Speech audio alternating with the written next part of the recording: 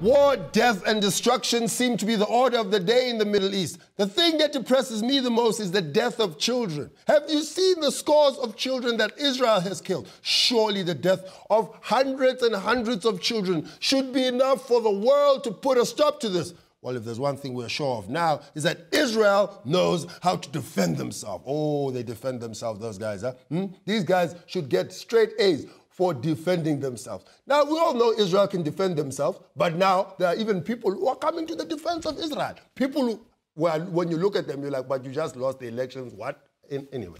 And uh, we came here with um, misunderstandings of uh, why is uh, Hamas choosing the, the, the route of being so violent because being so violent because we don't support violence at all.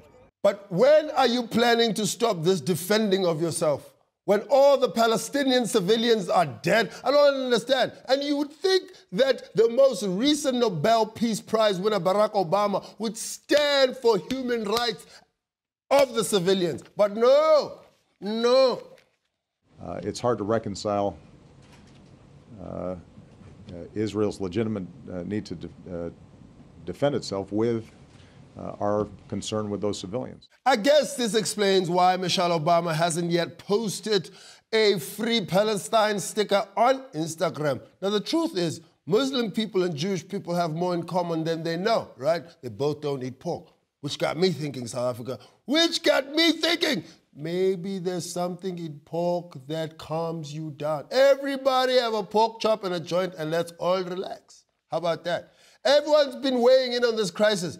But what annoys me the most is the hypocrisy, South Africa. That's what annoys me. The South African government has been very firm on the stance of supporting Palestine as per Nelson Mandela instruction. But when it came to Tibet, the same government was quiet, right?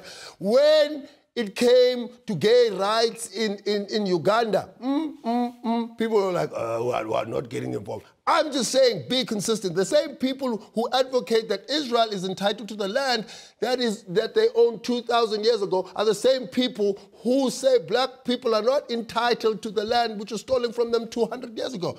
I guess what I'm trying to say, South Africa, is that why can't we all just get along? But the question that I'd like to put to you is, what can we do as individuals to effect meaningful change? What can we do? Are we powerless? News that moves. ENCA.com.